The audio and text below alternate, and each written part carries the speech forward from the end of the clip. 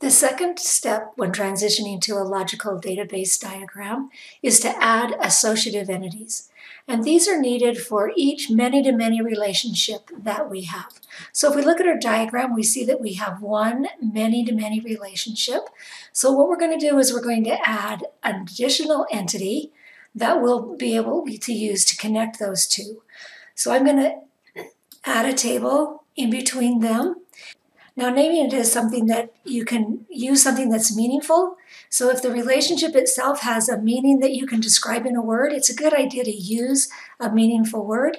If there's if it's not a descriptive relationship, uh, at least not one that you can define with a word easily, you can go ahead and just concatenate, put the two names together. The, so here, this is will be putting together the user and the account, making that relationship between them. So I simply just used user and account for the name.